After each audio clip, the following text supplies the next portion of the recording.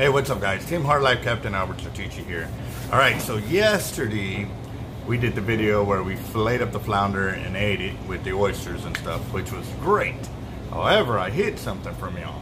And what it was was we actually found our flounder to have these black spots in them.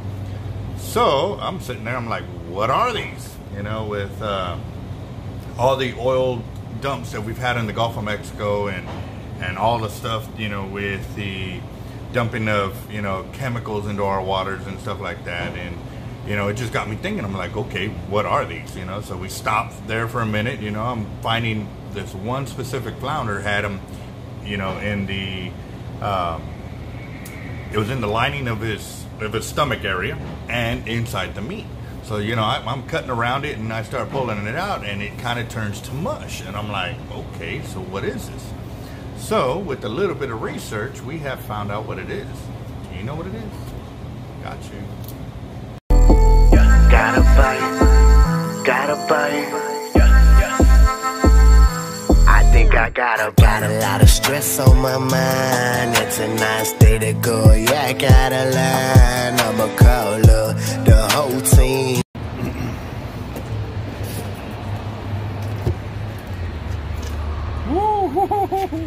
They are sharp, sharp, sharp, sharp.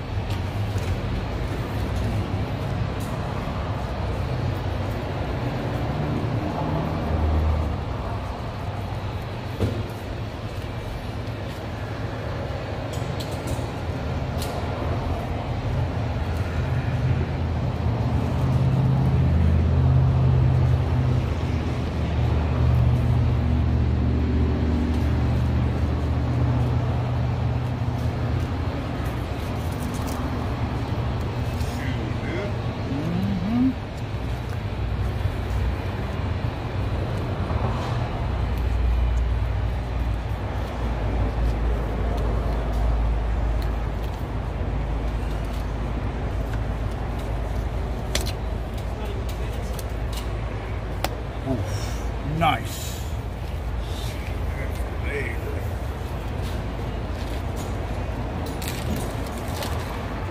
Man, that, that knife barely touched me. And I already got Poison the food. Dang.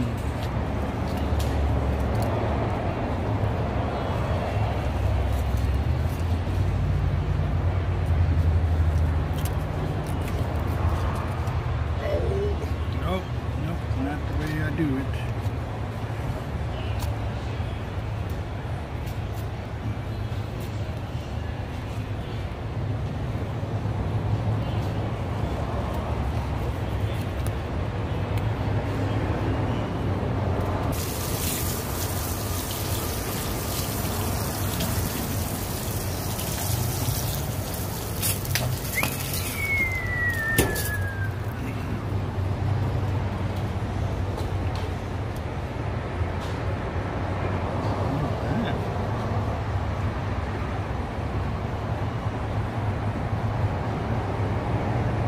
Y'all ever seen that?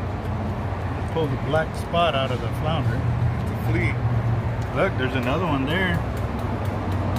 Another one there. Never seen that. You ever seen that? Hmm. Yeah. Yeah. All right, guys. So with a little bit of research, we found out that it's called black spot disease. It's normally observed in rock bass, sunfish, bass, pike, perch, minnows, and other species. Um, usually, the black spots are the size of a pea or a pinhead, and it's found in the skin, the fins, the musculature, and the mouth of the fish. Now, what it is, is it's a type of disease that is hard to say, but I'm going to put the name up here in just a minute, or fluke disease. It's in freshwater disease that it's a flatworm larva that leaves the genus Neascus, or I'm going to put that word up there too, and appears as tiny black spots. Um, after they leave the snails, they bury into the fish and form a cyst, is basically what ends up happening. Now, my question was okay, we know what it is, but is it, you know, dangerous to human consumption? So that was my next question. So, with that one, even though they look undesirable to eat and stuff like that, when you do cook the fish, it destroys the parasite, and uh, the flavor of the fish is not altered in any way. And what the main question was, well, I mean, okay, what if we don't, uh, you know, pull them out? You know, will it uh, affect humans? And these uh, parasites are incapable of infecting humans.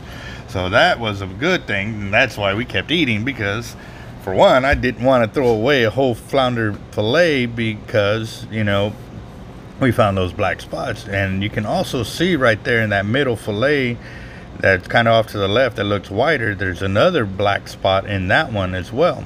So, you know, this was something that stopped us yesterday, but also, too, after we did research while I was still filleting the fish, we found this out. So we kept going on, and trust me, that fish was good.